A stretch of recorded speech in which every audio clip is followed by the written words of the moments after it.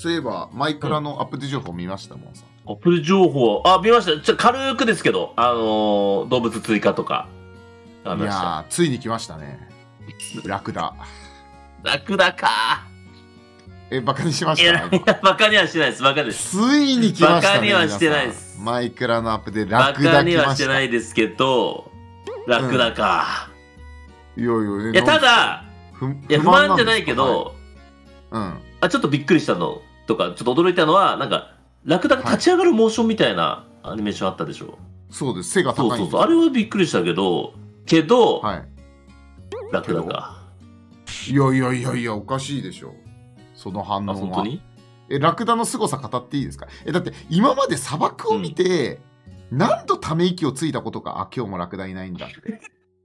あ、え？そうだ、マイクラにはラクダいなえ、かった。求めてた、今まで？何度？いや、もちろんでしょ。で、えあだって砂漠のイラスト描いてくださいって言ったら、大体ピラミッドとラクダ描くでしょ、みんな。まあまあまあ、ラクダ、まあ、つきものっちゃつきもの、確かに、確かに、まあそうだけピラミッドど、とラクダでまあ、しょ、ラクダのイメージは強いですね。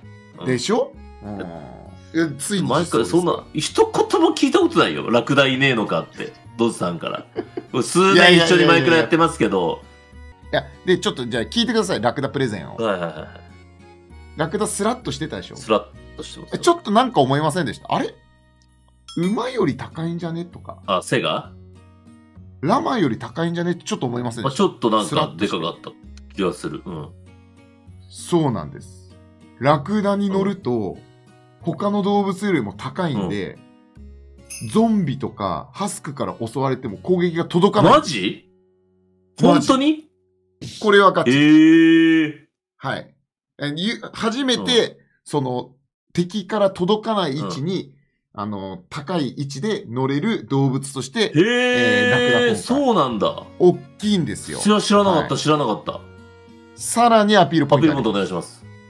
なんと今回、ラクダ初の二人乗りが可能です。ええー、動物の上に、はい。動物の上に今までストライダー、馬、ラマ、一人乗りが基本だったんですけど、違うな。ついに二人乗りができるようになります。ついに。ついに。うんついについについに。はいはいはいはい。ついに。うんうん二人で乗れて、ゾンビから身を守れる。なるほど。ついに、はいまあ、求めてたのかな？さらにうん、さらに、さ足はね、やっぱ馬に比べると遅いんですが、うん。なんかダッシュみたいなやつがえ、ダッシュ機能あんの？ダッシュ機能みたいなのがあって、一時頑張れるらしいんですよ。で、そのなんかダッシュ機能ある時は、なんかちょっとジャンプしたり、はいはいはいダッシュしたりができるみたいな。できないできるんで、どっちよ？やってみないと。僕も勉強不足なんですけどと。、ななんかね、崖を飛び越えたりとか、えーダッシュジャンプみたいな、うん、その能力があるえとかないとで、か。な、う んダッシュあるっぽいな。ダッシュジャンプあんのかわかんないけど。ダッシュジャンプ、うんそう、ダッシュジャンプで渓谷を飛び越えるっていうことができまあ、るっぽい。どんぐらいのジャンプ力かわかんないけどな。いや、でも、夢だったでしょ？二人でさ、ラクダに乗って、じゃ、ダッシュジャンプで渓谷飛び越える全。然夢じゃない。全然思い描いてない。僕の思い描く未来にラクダのダッシュジャンプはない。二人乗りの。しかもサバ、サボテンで増えるんですよ。あ、あ餌というか。それな餌で本当サボテンで増えてくるラクダってサボテン食うの？うんサボテン食いますよ。食うのかな？それで水分補給してますから。あ、そっかそっかそっかそっか。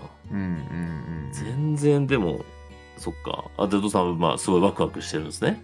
これはいいですね。かなり。今日もご視聴ありがとうございました。よければ他の動画もご覧ください。最新動画もチェック。